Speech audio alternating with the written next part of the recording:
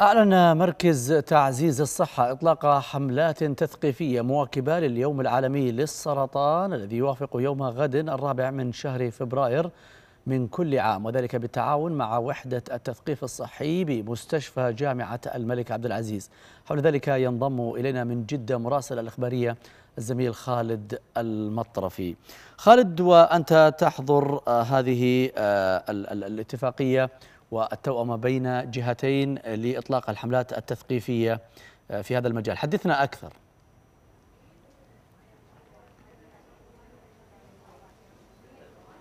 نعم يحيى صباح الخير. هذه التعاونات التي نشهدها على أرض الواقع هي للتثقيف والتوعية بأهمية المحافظة على الإنسان وسلامته وأيضا وصحته. نشهد اليوم منذ تواجدنا هنا للاستعداد الموظفين والموظفات في هيئة التخصصات الصحيه يقومون بزيارة هذا المعرض للتعرف على كيفية تجنب مثل هذه الأمراض والتي أيضا يتم تفعيل الحملات فيها خلال الأيام العالمية. للمزيد يحيى عن هذه الفعالية وعن تفاصيلها تنضم إلينا الأستاذة تغريد فطاني وهي مثقفة صحية بمركز تعزيز الصحة بجامعة الملك عبد العزيز من هذا المعرض. مرحبا أستاذ تغريد صباح الخير. نتحدث اليوم عن هذا المعرض وإيش أهميته بالنسبة لكم وأيضا للزوار.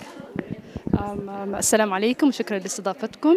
آه طبعا نحن مركز تعزيز الصحة بجامعة الملك عبد العزيز. لدينا الكثير من المبادرات التوعوية المجتمعية آه مع الجهات الحكومية. آه زي ما أنتم شايفين اليوم مبادرتنا كانت التعاون من مركز تعزيز الصحة بجامعة الملك عبد العزيز مع الهيئة السعودية للتخصصات الصحية لتفعيل اليوم العالمي للسرطان.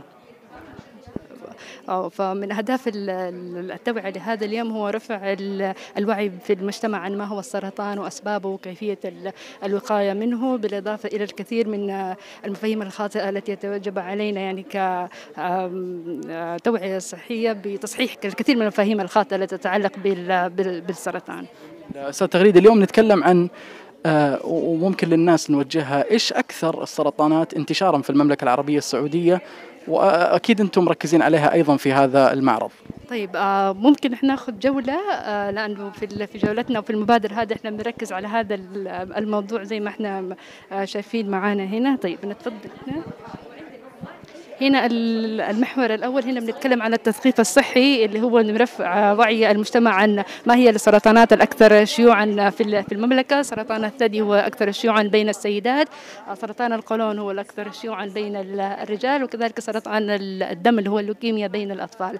ففي المحور الأول بنتكلم عن التثقيف الصحي عن عوامل الخطورة والأسباب وفي حاله قدر الله تمت الإصابة بالسرطان ما هي الأعراض الشائعة عن عن السرطان.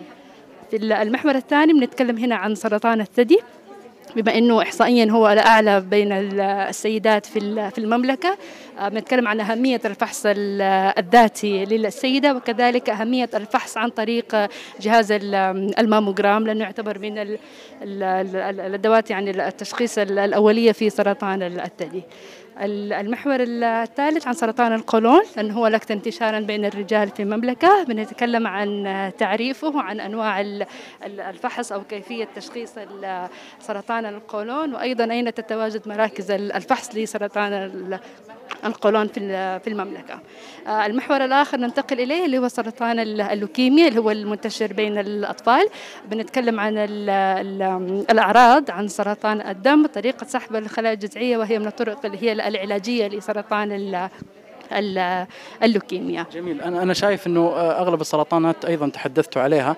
نتكلم أيضا عن الوقاية. هل لها حضور؟ أيضا العلاج والدعم النفسي. طبعا. من الركائز اللي موجودة في حملتنا اليوم اللي هي طرق العلاج.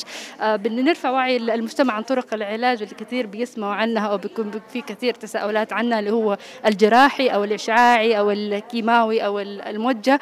فبنستقبل الكثير من أسئلة الزوار عن هذه أنواع العلاجات ويعني بنعرفهم على الاختلاف بين هذه العلاجات على حسب نوع السرطان أو عمر الشخص أو حالة السرطان. الوقاية المحور الأساسي أيضا الموجود بنتكلم عن طرق الوقاية عن السرطان. اتباع نمط حياة صحي للحد من انتشار السرطان وأهمية الكشف المبكر عن السرطانات بأنواعها المختلفة سواء كان سرطان القولون أو الثدي أو سرطان عنق الرحم أو ما هي مثلا التطعيمات اللي مثلا ممكن إنه الشخص يأخذها بحيث المفيدة بحيث إن هي تحد من انتشار السرطان.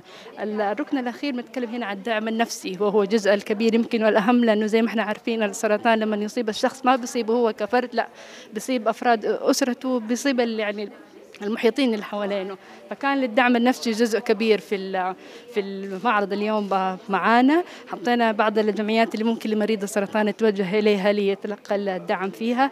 في هاشتاج برضه لدعم مرضى السرطان فيها. اسم الهاشتاج؟ لندعم مرضى السرطان.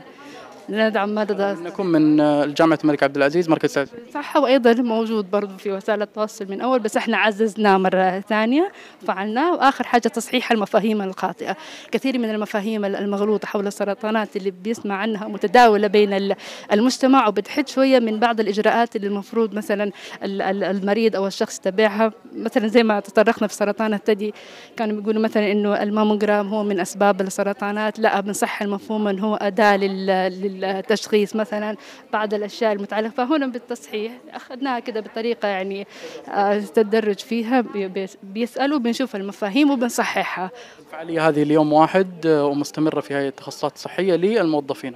طبعا هي مستمرة ليوم واحد فقط اللي هو اليوم لموظفين اللي هو الهيئة السعودية للتخصصات الصحية وأيضا لزوار المركز. المشاركين والمشاركات في التعريف بهذه الأركان من طلاب الجامعة. من طلاب الجامعة نعم من طلاب الجامعة هم طلاب الامتياز وتحت إشرافنا هم القائمين شاكرين بهذه يعني المجهودات اللي أنتم شايفينها اليوم معنا. شكرا لكم أستاذ تغريد شكرا الله يديكم العافية شكرا على الاستضافة.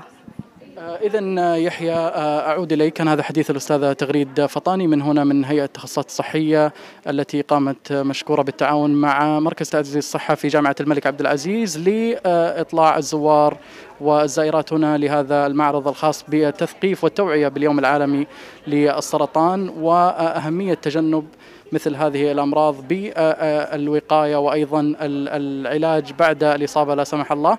وأيضا تحدثنا عن السرطانات الأكثر انتشارا في المملكة العربية السعودية في للرجال وأيضا للنساء والأطفال.